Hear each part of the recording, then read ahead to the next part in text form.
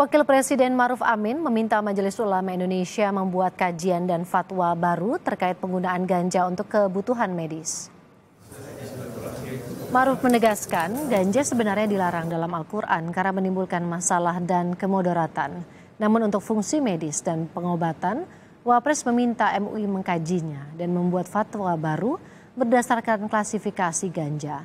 Nantinya fatwa yang dikeluarkan MUI tentang ganja medis bisa menjadi pedoman semua pihak, termasuk DPR dalam melegalisasi ganja. memang kalau ganja itu kan dilarang dalam arti masalah ya mudah ya sudah sudah dilarang masalah kesehatan itu saya kira ya harus.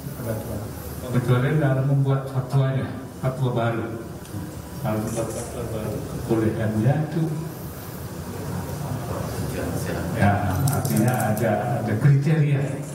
Jadi saya minta nanti MUI supaya segera membuat fatwanya untuk bisa dipedomani oleh DPR jangan sampai nanti berlebihan dan menimbulkan kemudaratan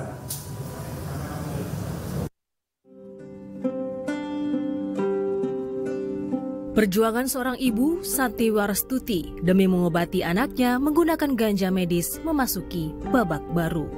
Seusai bertemu dengan Wakil Ketua DPR, disebut dalam waktu dekat DPR akan menggelar rapat dengar pendapat membahas ganja untuk kebutuhan medis.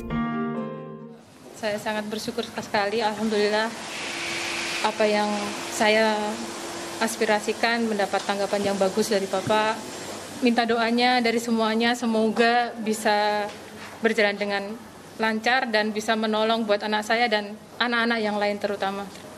Uh, terutama untuk mengatasi kejangnya, Pak. Yang yang yang utama itu karena setiap anak sipi itu hampir semua disertai kejang. Setiap kejang terjadi pasti anak akan mengalami kemunduran. Wacana penggunaan ganja untuk medis akan dibahas dalam rapat dengar pendapat di Komisi 3 sebelum masa reses 7 Juli. Pembahasan ganja dalam ranah medis akan dimulai dengan pembahasan revisi Undang-Undang Narkotika. Nah, setelah mendengarkan apa-apa yang tadi disampaikan, maka kami akan mengambil langkah-langkah untuk uh, mendorong rapat dengar pendapat dengan Komisi 3 yang kebetulan sedang uh, membahas uh, revisi Undang-Undang Narkotika. Demikian. Rencananya kapan? Ya secepatnya. Dua tahun, Santi berjuang mencari kepastian hukum atas legalitas ganja.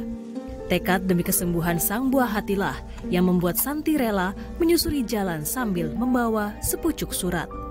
Dengan harapan, permohonan legalisasi ganja untuk medis dapat didengar.